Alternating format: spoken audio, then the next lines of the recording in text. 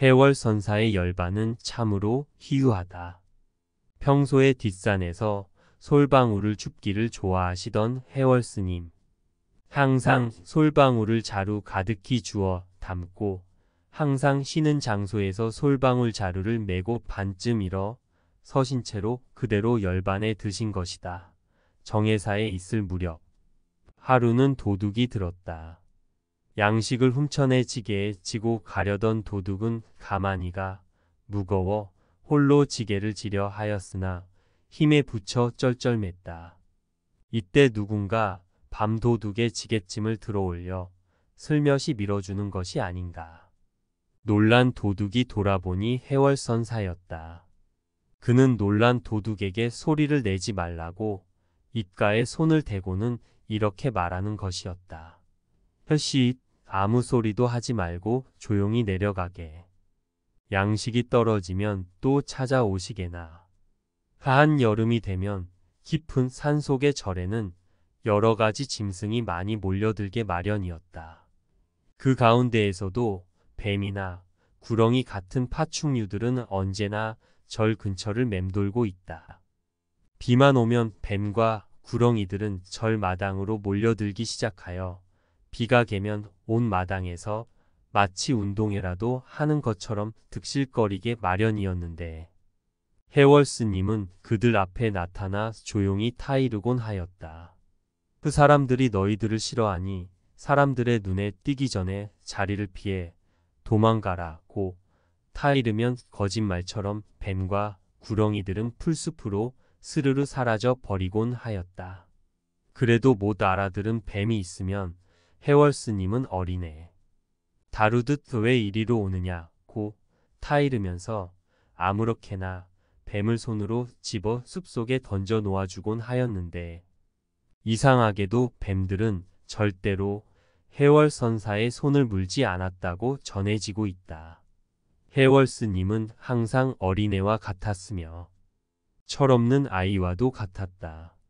서남사에 머무르고 있을 때의 일이었다. 어느 날 시내의 보리를 보기 위해 산을 내려가던 해월 스님은 지친 발걸음을 쉬어가기 위해 산 밑 오막사리에 들르기로 하였다. 산 밑에는 과부 혼자 살고 있는 오막사리가 있었는데 이 오막사리는 절에 오르는 길목에 있었고 절에 딸린 밭을 빌려 과부가 부쳐먹고 살면서 이따금 절의 허드레질도 돌봐주곤 하여서 절 식구들과는 무관하지 않은 사이였던 것이다. 텐마루에 앉아 쉬던 해월 스님은 무심코 방문을 열어보았다. 그러자 심상치 않은 사태가 벌어진 것이다. 대낮인데도 방 안에는 이불이 깔려 있고 벌거벗은 부목과 과부가 나란히 누워있는 장면과 맞닥뜨리게 된 것이었다. 그 부목은 서남사에서 고용하고 있는 일꾼으로 몸이 건장하고 일도 열심히 해 해월스님의 신임을 톡차지하고 있었고 그날 아침에는 소를 끌고 장에 가서 물건을 사오기 위해 일찌감치 절을 나섰었다.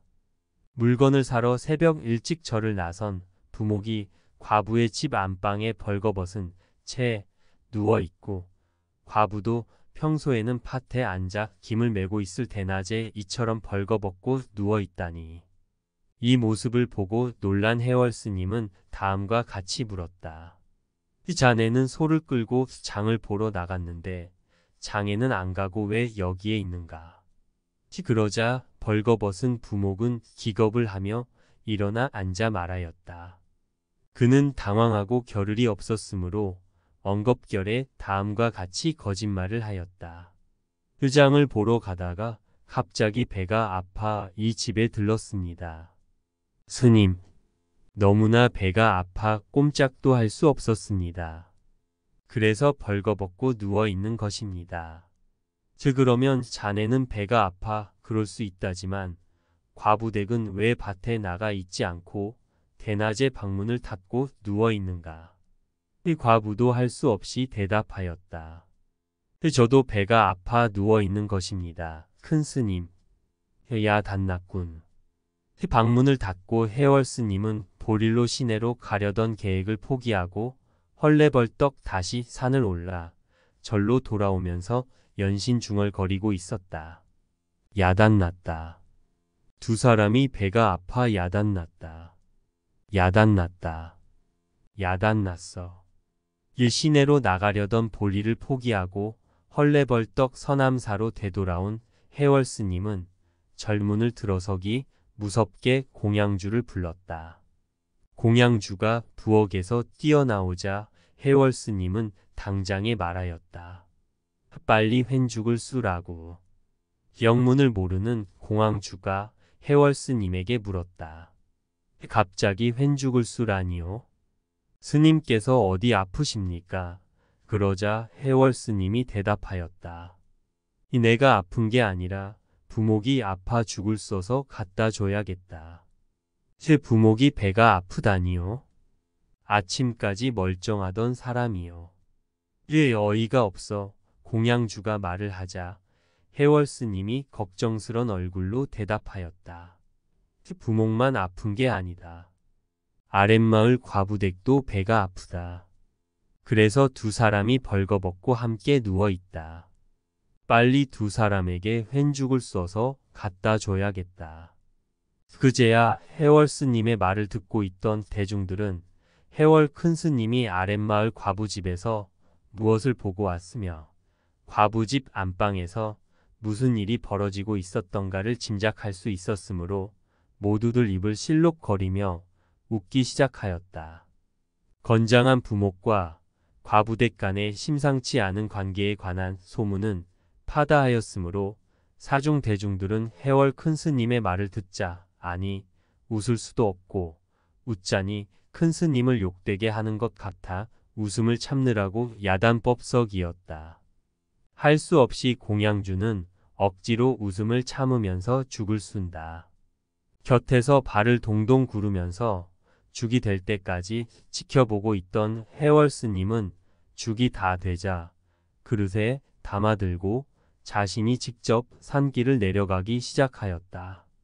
행자를 시키면 되겠지만 막상 아파 벌거벗고 누워있던 두 사람의 모습이 너무나 가련하였으므로 해월 스님은 자신이 직접 날라주기로 결심했기 때문이었다. 산길을 반쯤 내려가는데 배가 아파 과부와 함께 누워있던 부목이 소를 몰고 올라오고 있는 것이 보인다. 그런데 얼굴에는 언제 배가 아팠었느냐는 듯 전혀 아픈 기색이 없어 보였다.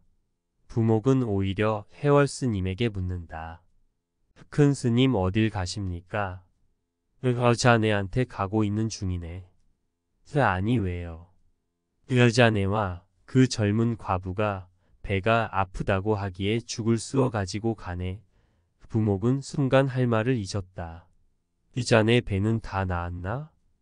과부댁은 어떤가? 배가 아프면 횡죽을 먹어야 하길래 죽을 쑤어 왔어. 여기서라도 훌훌 마셔두게.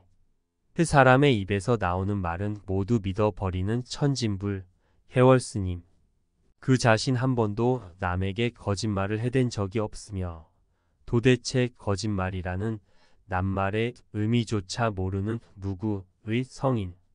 그 사람의 이름이 바로 해월스님인 것이다. 해월스님을 속인 부목은 그 자리에서 무릎을 꿇고 참회한 후 출가하였다던가. 당신은 일제치하였으므로 총독이 곧 왕이던 시대였는데 남차랑 총독이 남방에 선지식이 계시다는 소문을 듣고 수하 몇 명을 데리고 해월 선사를 방문하셨다. 총독이 인사를 올리고는 스님, 부처님의 아주 깊고 높은 진리를 한 말씀 일러주십시오. 네. 부처님의 깊고 높은 진리? 귀신 방귀에 털 난개지. 네. 귀신도 허무한데 귀신이 방귀를 낀다는 것 더군다나 그 방귀에 털이 난 것이라고 하니 대체 이 무슨 소리인고? 남차랑 총독은 여기에서 당황하여 그만 물러갔다. 이 소문이 일본까지 전해져서 분분했다. 여기에 붕괴한 남차랑의 한 무사 제자가 해월 선사를 단단히 혼내주리라는 보복심을 가지고 일본에서 당장 건너왔다. 그는 해월 선사의 방에 들어서자마자 선사의 목에 칼을 들이대었다. 그대가 해월인가? 네. 그렇다. 내가 해월이다. 네. 대답과 동시에 해월 선사께서는 손으로 그 무사의 등 뒤를 가리키셨다. 뒤에서 누군가가 자기를 해치려 하는 줄로 알고 무사가 급히 뒤를 돌아보는 찰나 해월 선사께서는 벌떡 일어나셔서 내 칼 받아라. 예 하시며 그 자의 등을 쳤다. 그러자 무사는 칼을 거두고 큰 절로 예를 올리며 과연 위대하십니다. 예 하고는 돌아갔다. 선사의 지혜의 기봉 이 아니면 이렇게 어려운 상황에 부딪혀 석화정광과 같은 그러한 기틀을 쓸 수 없다. 만약 해월 선사께서 그 상황에서 두려움을 일으키고 공포심을 냈던들 즉시에 목이 달아났을 것이다.